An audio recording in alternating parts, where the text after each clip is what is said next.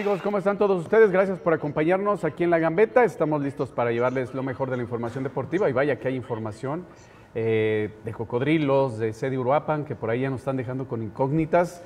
También vamos a contactar, parece ahora sí, a la gente del tenis que está iniciando participación en los Juegos Nacionales de la CONADE. Y eh, en un momentito también les confirmo, de hecho estoy hablando con él, a ver si nos hacemos un enlace con cocodrilos porque pues hay noticias no muy agradables que ya estaremos platicando aquí con Sergio Román. ¿Cómo estás, Sergio? Hola, ¿qué tal? Ismael Herrera, amigos de La Gambeta. Muy buenas tardes, tengan todos ustedes. Pues sí, hay noticias que se están dando. La situación de cocodrilos, que al parecer, eh, dicho por Eleazar Molina, el presidente de esta institución, que no participará en la próxima temporada. Y por otra parte, el Club Aguacateros lanzó un comunicado donde se desprenden de la Serie A de la Liga Premier. No lo dicen directamente, pero se despiden de alguna manera, ¿no? Sí, bueno, lo de, lo de, pronto.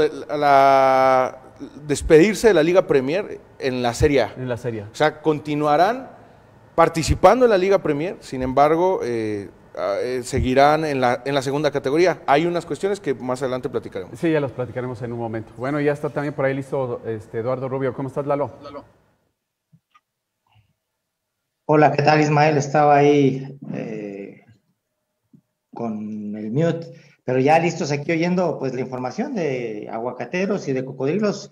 Son cosas que de repente se dan, habrá que ver cuál es la parte oficial de cada parte. Sí, la verdad que son eh, este, situaciones un poquito sorpresivas porque si recordamos las entrevistas que tuvimos con la gente de de cocodrilos. Un gran proyecto, ¿no? Eh, nos manejan el proyecto, el interés que tenían y que de repente ya suceda esto, pues nos llama mucho la atención. Eh, por ahí, si pudiéramos contactar, Omar, eh, te estoy mandando el teléfono, lo, hago aquí en vivo porque hasta ahorita estamos enlazando la, la llamada, para ver si nos contactamos con la gente de Cocodrilos. Ya por ahí el ACEAR me, me aceptó la, recibir la llamada, entonces en un momentito le vamos a marcar para que ya él nos confirme esta situación, que yo la desconocía hasta ahorita que me la comentas, es qué lástima, porque es una plaza muy importante, según lo manejan, es con la intención de poder concluir el proyecto del estadio o darle fortaleza a ese proyecto, pero pues se queda en el camino deportivo, ¿no? Bueno, eh, antes de, estar en enlace con el hacer, que para mí va a ser muy importante hacer ciertos cuestionamientos sobre el proyecto, creo que sí va a una situación también de toda esta incertidumbre que está sucediendo en el fútbol mexicano. Hacia dónde va a ir tu inversión, a dónde va a ir todo esto que estás impulsando en una región, haciendo un estadio, eh, metiendo los, los socios que ellos pretendían hacer microsocios, eh, para, para que así se fuera capitalizando el equipo. Entonces, creo que toda esta cuestión también tendrá que ver seguramente con lo que se ha hecho en la Liga Mexicana, bueno, en la federación últimamente. Creo que por ahí va la situación también. Sí, pues lástima por la situación de Cocodrilos. Ojalá que, bueno, ahorita que tengamos la oportunidad de contactar a Eliazar nos pueda aclarar un poquito más el asunto, porque aparte de que era un proyecto bien interesante, al grado tal de que están construyendo por ahí un estadio, eh, está en una zona muy importante de la ciudad, del estado, perdón, en, la, en, la, costa michoacana y, que realmente requería de una expresión eh, deportiva como esta, ¿no? Sí, creo que es, es, raro porque es un proyecto que ya está, que ya está en camino. Eh, sabíamos que estaban trabajando en, el, eh, en su estadio, ya lo tenían en porcentaje avanzado, la cancha es buena, los resultados eh, son medianamente de, son buenos, de buenos para, para excelentes. Realmente lo que está haciendo Cocodrilo, Cocodrilos era uno de los rivales más fuertes de la tercera división, no han podido conseguir el ascenso, seguramente eh, también podrían buscar el, ascenso económico también, ¿no? Como se están dando las cosas en este momento, también podría ser una posibilidad, como en su momento Aguacateros ascendió a la Liga Aguacateros no campeonó, Aguacateros sí fue, eh, impuso récords en la tercera división, sin embargo nunca pudo eh, levantar el título de tercera, se compró su, su, lugar y, y bueno, es por eso que ahora están en la categoría B del equipo Aguacateros. Fue invitado a Aguacateros, pero ¿le quedó grande el paquete? ¿Cómo lo valorarías? Porque, porque en la división anterior eran líderes, siempre fueron protagonistas. No creo que le haya quedado grande la, la, la, Liga Premier. La, situación es que cuando tú haces una inversión de 4 o 5 eh, millones de pesos, de repente te ascienden y tienes que hacer un gasto de, de 10 a lo mejor. 10, 11 millones de pesos, de acuerdo con lo que hemos hablado, eh, y tú has hablado con, con, gente que está en esas categorías, y es más o menos lo que te puedes gastar para mantenerlo. Ahora, si quieres competir, debes de jugar a, a filo de reglamento y obviamente tu aportación económica podría ascender a los 15, 17 millones. Ok. Bueno, ya, ya contactamos a Eleazar eh, Medina. Le agradecemos. mucho. Eleazar, ¿nos escuchas? Molina, Molina. Eleazar, Eleazar. Sí, bueno. Ah, sí. Eleazar, ¿nos escuchas? Sí, sí, lo escucho. Ah, ok. Eleazar Molina, presidente del equipo Cocodrilos de Lázaro Cárdenas. Oye, pues recibiendo la noticia de que no continuará, ¿no lo puedes confirmar? En la participación Sí. ahí en la TD Liga TDP. Buenas tardes, Ismael. Buenas Eh, tardes. buenas tardes a tu público. Sí, este, así se había decidido ya con anticipación, no fue decisión de ahora, ¿no? Se bien. había dicho que de no trascender a la segunda división, buscaríamos una segunda división. Pero bueno, no se dio lo de la segunda división por diferentes causas, entonces este, la intención es ya no continuar en la tercera división. Pero, pero entonces, ¿hacia dónde va dirigido el proyecto ahora? Ahora es este, continuar con la construcción del, del estadio durante este año, digo, evitando esos gastos de operatividad de, de, de la franquicia, ¿no? De visitar y todos esos gastos que se originan. Esto es el- Entonces, este- sí. sí, sí, sí, continúa. Entonces, sí, entonces eh, nuestra intención es eh, todos los eh, todo lo financiero, lo económico, eh, dedicarlo al estadio para hacerlo crecer un poco para poder jugar ya en segunda división la siguiente temporada y planear bien eh, la franquicia de la segunda división de la siguiente temporada. Eh, Entonces aceleraría la construcción del estadio, de acuerdo a los planes que ustedes tendrían. De acuerdo a los planes, este, aceleremos un poco más la, la construcción, quizás no lo acabemos, pero sí eh, dejarlo más este, de acuerdo a lo que la federación te pide para una segunda división. Eleazar, muy buenas tardes. Te saluda Sergio Román acá en la mesa de la Gambeta. Espero ¿Qué todo tal, esté Sergio bien Román? por allá, por, por la costa michoacana. Costa michoacana. Hermosa siempre. Eh, preguntarte, Eleazar, eh, ¿esta decisión tiene que ver con los manejos que se han hecho en federación, donde los ascensos no se están ganando, donde le están dando eh, eh, predominio a la situación de que si tienes un buen estadio, de que si tienes los recursos, de que si estás bien fiscalmente, ¿esta decisión se toma con base también a esos movimientos que están haciendo en federación? No, no, ahorita no, no, no he tenido. Yo eh, sí tuve una reunión virtual con el presidente de Segunda División, con Vázquez, pero al final no, eso que tú me mencionas no, no estaba enterado de nada. Simplemente yo eh, pedí esa reunión con él virtual para saber las condiciones en que debe eh, ser los estadios para una Serie A o una Serie B. Entonces ahí me dijo que para Serie A pues no me alcanza con lo que llevo del estadio. Me alcanzaría para una Serie B, pero de alguna manera nosotros, nuestro interés es jugar una Serie A, entonces queremos este año avanzar más el estadio para que el próximo año poder jugar una Serie A, conseguirla, comprarla, re- a ver cómo, de qué manera, pero ver la manera de conseguir, de tener Serie A en Lázaro Cárdenas porque es una ciudad y un puerto pues de mucha proyección y, y una segunda división pues es, es importante que ya la tenga. Oye, Eleazar, eh, eh, ¿nos puedes platicar un poco lo que dice o lo que dicta esta carpeta de cargos? La carpeta de cargos. Sí, para, para ser parte de la Serie A. de la serie, A, bueno, de- de- debe contar con una con un aforo para 10.000 personas, el, el estadio. Eso es lo principal.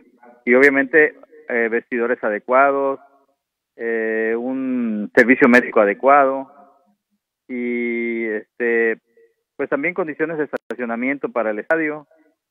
Eso- esos son las principales, los, eh, los principales este, requisitos. Ok, Y obviamente, eh, obviamente, espérame, obviamente vamos, vamos a la pausa y regresamos contigo, Eleazar, si nos permites, no nos tardamos nadita. Volvemos. órale, está bien.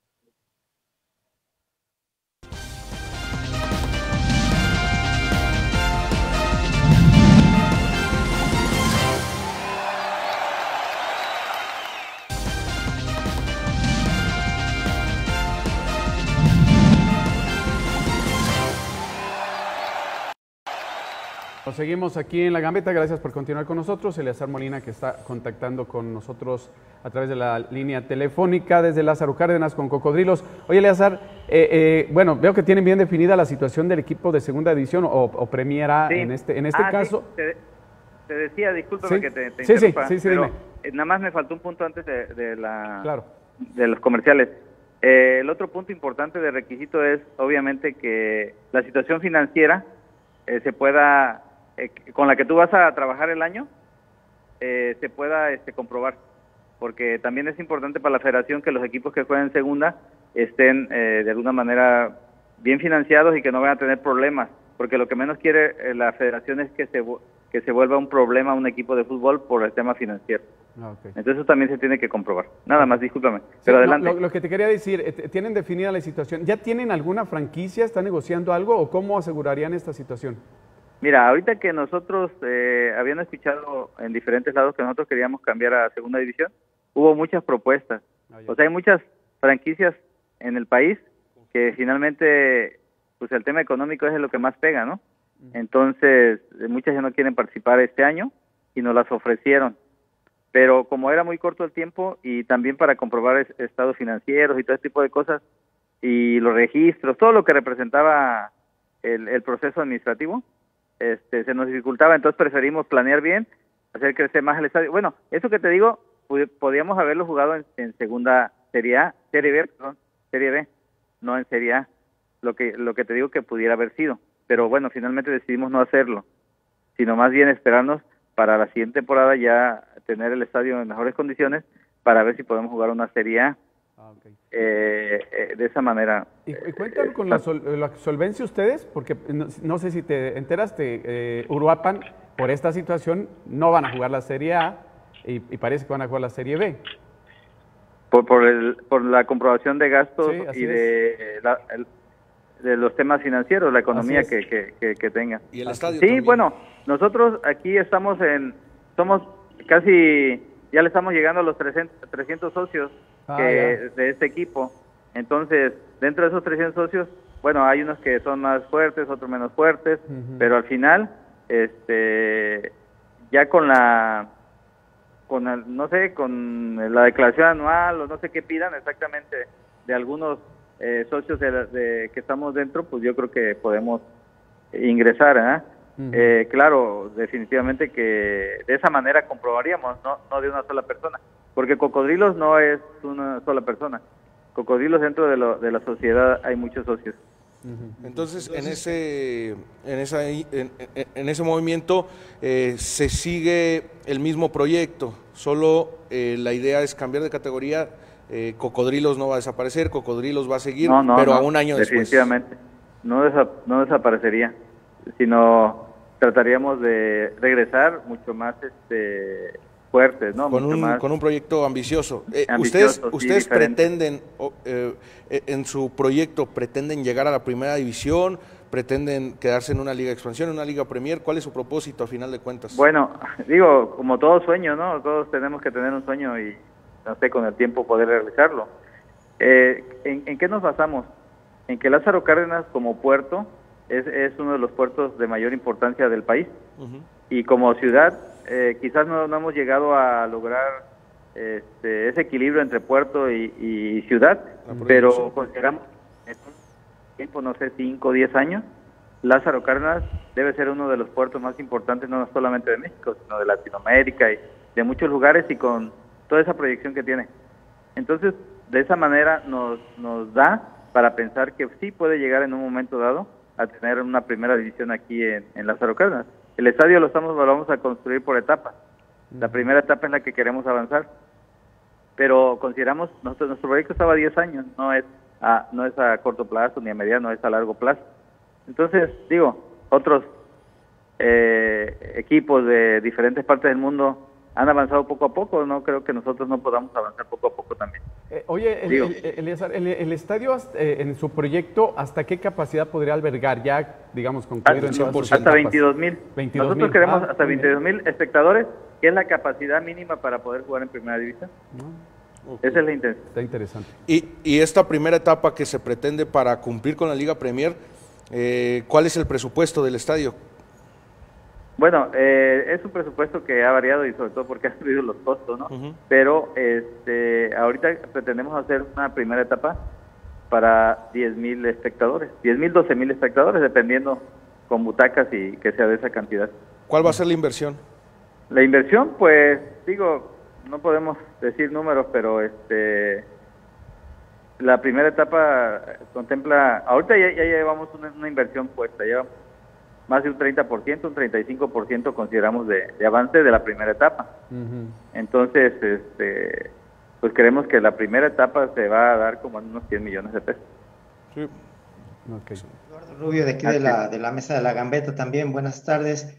Eh, mi pregunta va más por la cuestión del lado deportivo, es decir, si hay algún proyecto que sustente esta propuesta para la segunda división que está en, planes, es decir, eh, con algunos jugadores, con algunos elementos, con algún entrenador, algún tipo de estructura se ha conformado para que cuando se dé la oportunidad de ya tener el equipo de segunda división, tener algo avanzado en el aspecto deportivo o definitivamente la cuestión deportiva queda cerrada hasta que se abra esta posibilidad de la segunda división. Sí, no, ahorita no, no, no podemos pensar en jugadores, en técnicos ni nada de eso.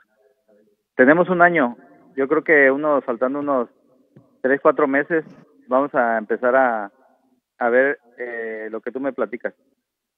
Porque ahorita no tiene caso este, pensar en eso, porque Sí, claro. nos falta mucho tiempo. Por eso es que tenemos un año para planear todo. Ajá. Bueno, de pues eso se trata, que tenemos mucho espacio y mucho tiempo para que esto se vaya dando poco.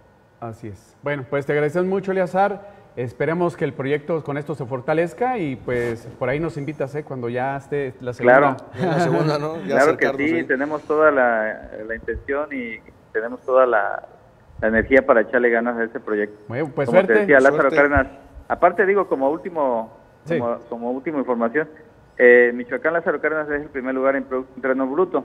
Eso quiere decir que se mueve más dinero en Lázaro Cárdenas que en cualquier otro municipio de Michoacán. Así es. Entonces, por ese motivo creemos que esto se, es factible que se dé la segunda división, Bueno, por lo pronto ahora. pues mucha suerte y éxito en este proyecto, Eleazar. Fuerte abrazo y pues por aquí estamos al pendiente. Gracias a ustedes, gracias a Ismael, Gracias. a Sergi, a este Armando, Lalo. Lalo. Eduardo. a Lalo, a Lalo a- y a todo su público. Muchas Sí, gracias. Muchas gracias. Muchas gracias, Eleazar. Bueno, y vamos Hasta a una luego. pausa, regresamos aquí a la gambeta.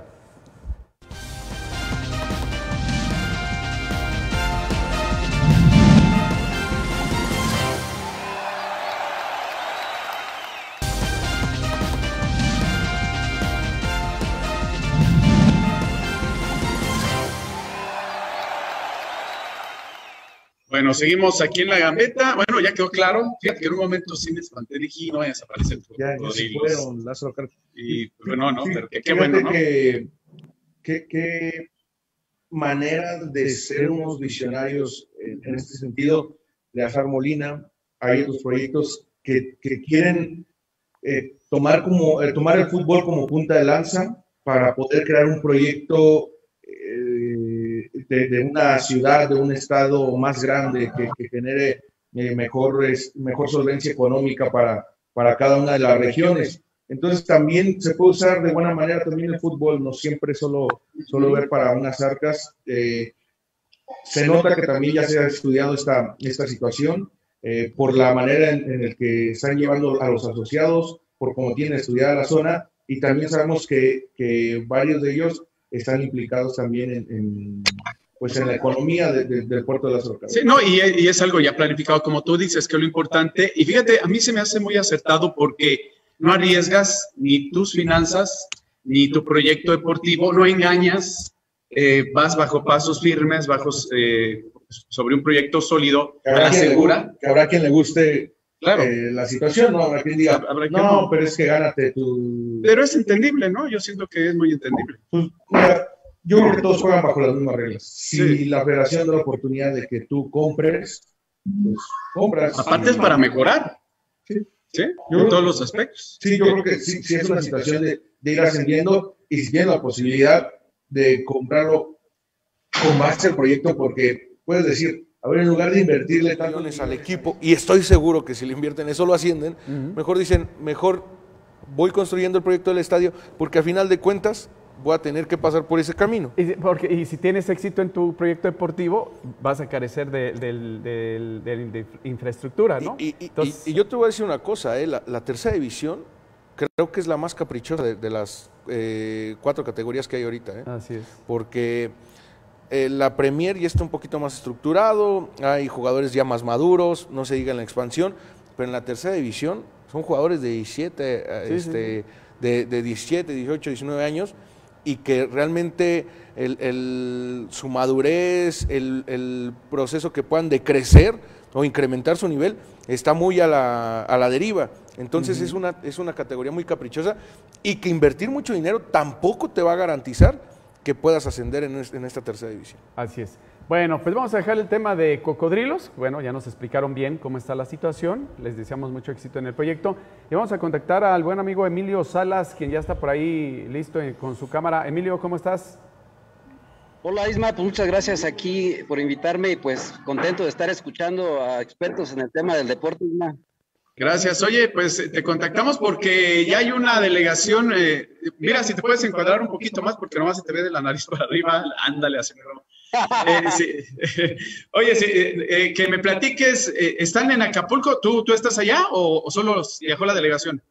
No, Isma, este, solo la delegación Ah, con el equipo técnico y todo. Yo tengo que estar aquí al tanto de el torneo nacional G1 que está ya por arrancar. Entonces, pues tengo la, voy a tener la visita de de, em, de la federación para que hagan una revisión de las instalaciones. Entonces aquí estoy trabajando en esto, Isma. Preparando. ¿Y qué nos puedes platicar del equipo que viajó a Acapulco? Ustedes arrancan los Juegos Nacionales después de tantas veces que se pospuso. Finalmente ya se ve luz verde para estos Juegos que tanto esperábamos. Eh, correctamente, fíjate que pues eh, la delegación, como tú sabes, son jugadores jóvenes que eh, van con una preparación, pues digamos, no a conciencia como se desearía, dado que el tema de COVID nos limitó, eh, estuvo los clubes cerrados, las instalaciones deportivas cerradas, pero pues digamos que la preparación se llevó a cabo bajo un esquema de hacer algo alternativo, algún acondicionamiento físico y este, pero pues estamos confiando en que podamos tener un buen resultado, pues depende mucho también de la eh, de los jugadores con los que vayamos a jugar. eh, los estados, hay estados que traen un potencial, otros menos y eh, vamos a esperar los resultados, Isma. ¿Cuántos michoacanos hay y en cuántas categorías? Mira, están compitiendo ocho en la categoría de 14 y 16 años, cuatro en la de 14, cuatro en la de 16. Eh, dos varones, dos, dos eh, mujeres, igual eh, en la 16 el mismo esquema. Hola Emilio, te saluda Sergio Román. Preguntarte cu- cuál es la expectativa con estos ocho deportistas. ¿Hasta dónde le va a alcanzar la delegación michoacana? Esa es la parte que es la pregunta, es la pregunta compleja porque... ¿De acuerdo a la preparación que han llevado?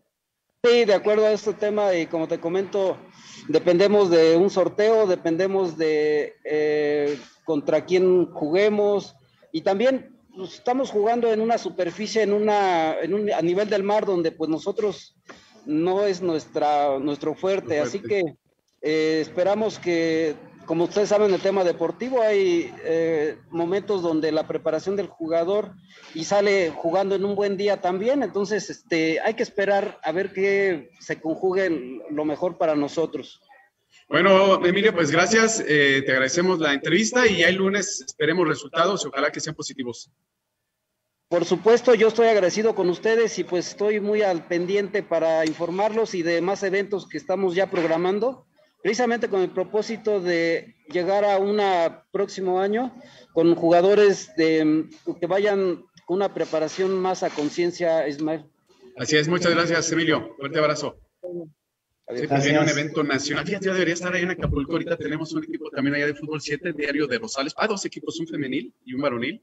También ahí están en Acapulco. Con ellos platicaremos mañana. Pues También, deberíamos 7. estar allá en Deberíamos estar allá. Acapulco, A gusto. Bueno, Vamos a estar en Ixtapa allá. pues, Costa Michoacana, a visitar a Nos vamos Alianza. Ya nos regresamos. Sí, no, no. Ay, soñamos mucho. Nos vamos a... Nos vemos, Eduardo. Muchas gracias. Muchas gracias, nos vemos.